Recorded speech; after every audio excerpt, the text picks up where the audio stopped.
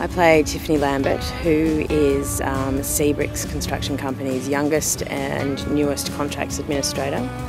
And, um, and then I cross paths with Jack, and um, there is a romance that blossoms, I think very much based on uh, animal attraction. I'll give myself a touch up.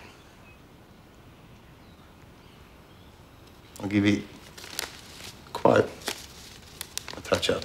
Because we have a lot of flirtatious scenes over worms and fish and a lot of seafood. What we've got to do, get that hook out of its mouth, put it on the line, whip it through the arch of its back and chuck it back out there as alive. Again. Different jobs, where be it acting, be it politics, be it real estate. In essence, you're you're selling a dream to someone, and if you're very good at it, you're doing it from a place of honesty. If you're bad at it, you you're most definitely not. Oh, for Christ's sake. Looks like these fellas have moved in.